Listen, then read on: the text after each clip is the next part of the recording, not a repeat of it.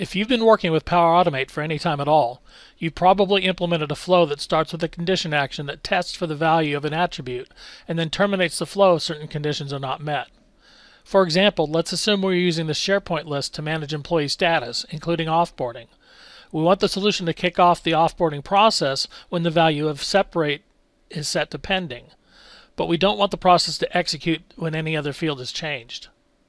To accomplish this, we would typically use a structure like what we see here.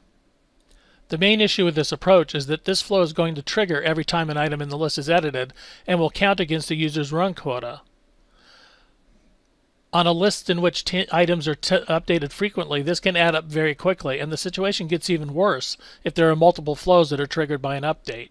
Fortunately, in late 2019, Microsoft quietly introduced a new trigger setting that allows conditions to be tested within the flow's trigger. If this condition isn't met, the flow is not executed and will not account against the user's flow quota. The structure you see here uses a new trigger condition setting. Note that this structure eliminates the initial condition action. To access these settings, simply click on the Triggers Ellipse menu, select Settings, Scroll down to Trigger Conditions and click Add. Note that I have implemented a condition that will only allow the flow to proceed if the value of separated is pending. This condition has the same effect as the standard condition structure we saw earlier, but is simpler and doesn't count against the user's flow run quota.